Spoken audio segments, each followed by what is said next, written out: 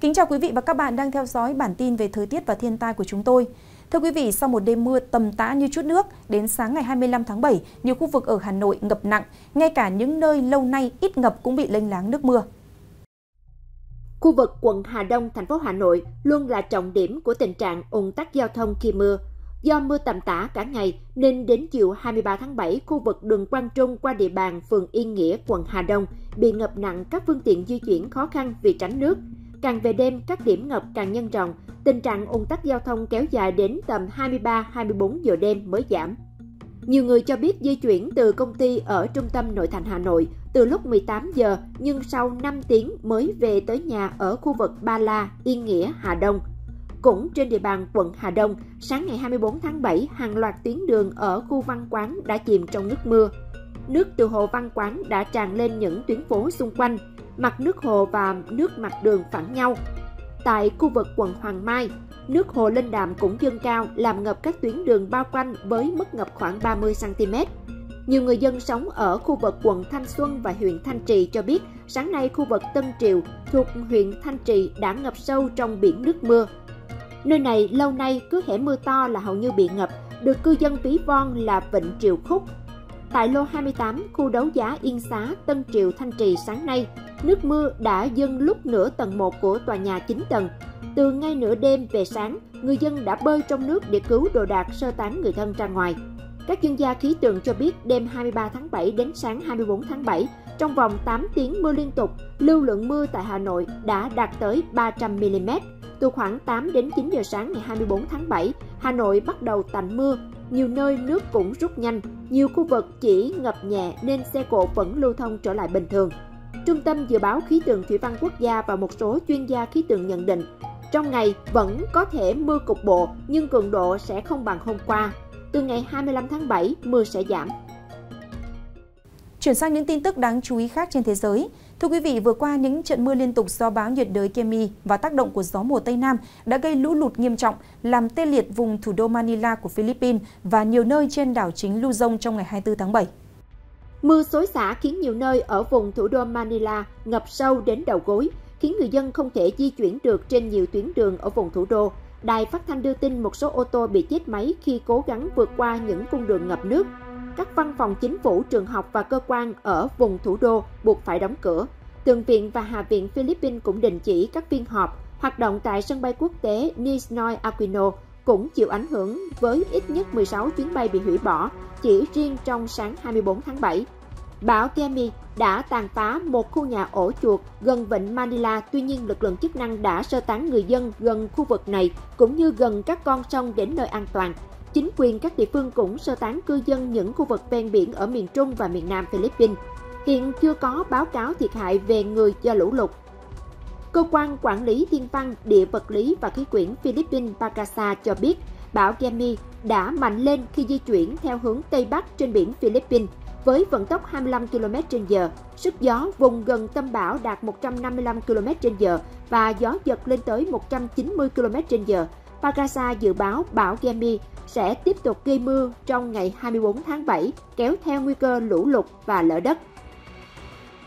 Cơ quan trên cho biết thêm rằng gió mùa Tây Nam mạnh lên do ảnh hưởng của bão Gemi sẽ gây mưa vừa đến mưa to ở nhiều khu vực trên đảo Luzon cho đến ngày 26 tháng 7, cũng như các khu vực ở vùng Visayas thuộc miền trung Philippines và phía bắc đảo Mindanao ở miền nam Philippines. Gemi là cơn bão thứ ba tấn công Philippines kể từ đầu năm đến nay. Philippines là một trong những quốc gia chịu nhiều thiên tai nhất trên thế giới, chủ yếu do nước này nằm trên vành đai lửa Thái Bình Dương và vành đai bão Thái Bình Dương. Trung bình quốc đảo này phải hứng chịu hơn 20 cơn bão mỗi năm, trong đó nhiều cơn bão có cường độ mạnh và sức tàn phá lớn. Tiếp theo chương trình sẽ là phần dự báo chi tiết các khu vực ngày 25 tháng 7. Hà Nội có mây, đêm mưa rào dài rác và có nơi có rông, ngày nắng gián đoạn, gió nhẹ. Trong mưa rông có khả năng xảy ra lốc xét, mưa đá và gió giật mạnh. Nhiệt độ giao động từ 24 đến 33 độ C. Phía Tây Bắc Bộ, nhiều mây, đêm mưa vừa mưa to và rông, cục bộ có nơi mưa rất to, ngày có mưa rào và rông rải rác, cục bộ có nơi mưa to, gió nhẹ. Trong mưa rông có khả năng xảy ra lốc xét, mưa đá và gió giật mạnh. Nhiệt độ giao động từ 21 đến 34 độ. Phía Đông Bắc Bộ có mây, đêm có mưa rào rải rác và có nơi có rông, cục bộ có nơi mưa to, ngày nắng gián đoạn, gió nhẹ. Trong mưa rông có khả năng xảy ra lốc xét, mưa đá và gió giật mạnh. Nhiệt độ dao động từ 24 đến 34 độ. Thanh Hóa đến Thừa Thiên Huế có mây, phía Bắc, Thanh Hóa đến Nghệ An đêm mưa vừa mưa to và rông, cục bộ có nơi mưa rất to, ngày có mưa rào và rông rải rác, cục bộ có nơi mưa to. Trong mưa rông có khả năng xảy ra lốc xét, mưa đá và gió giật mạnh, nhiệt độ dao động từ 25 đến 35 độ. Đà Nẵng đến Bình Thuận có mây, chiều tối và đêm có mưa rào và rông vài nơi, ngày nắng, có nơi nắng nóng, gió Tây Nam cấp 2, cấp 3.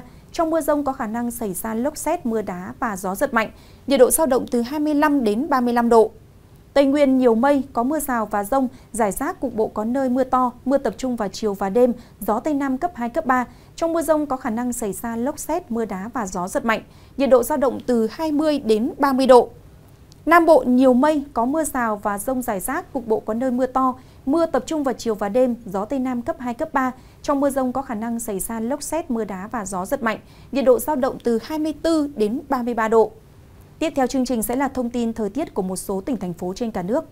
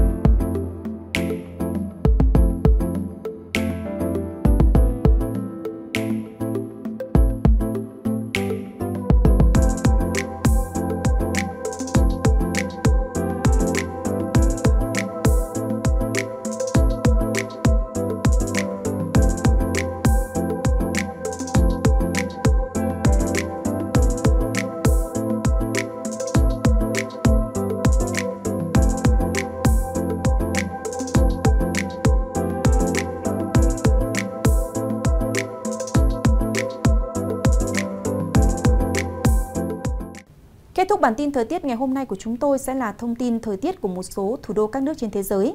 Cảm ơn sự quan tâm theo dõi của quý vị. Xin kính chào và hẹn gặp lại trong các bản tin thời tiết tiếp theo.